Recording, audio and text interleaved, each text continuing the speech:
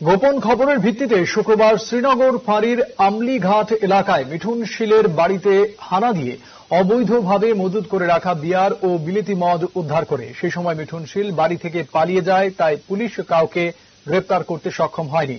তবে এই বিষয়ে পুলিশ একটি মামলা গ্রহণ করেছে বলে জানা যায়। এ ধরনের নেশা বিরোধী অভিযানের কাজ আগামী দিন জারি থাকবে বলে জানিয়েছে পুলিশ।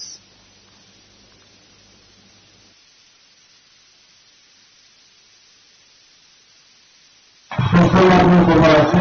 আমি বিভাগ সুন্দর বাড়িতে সুন্দর পরিমাণে অভিযোগ রাখা আছে।